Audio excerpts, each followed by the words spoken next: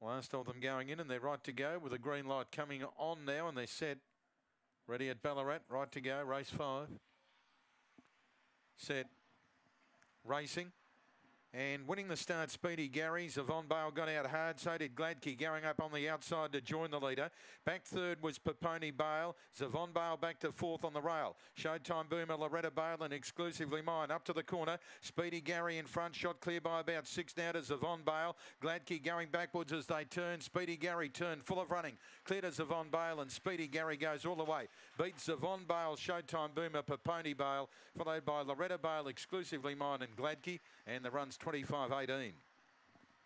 25-18 to Speedy Gary. Number two held them out from an inside draw and brings impressive Healesville straight form to Ballarat with a solid win. Number two, Speedy Gary. Racing clear to beat Zavon Bale, number three.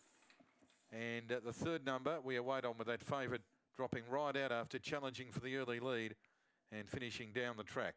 6.56, 11.30, 13.88, and again, a fast runner here of 25.18. 2 3 8's third, Showtime Boomer. So it's Speedy Gary, Zavon Bale, Showtime Boomer, 6 fourth, Paponi Bale.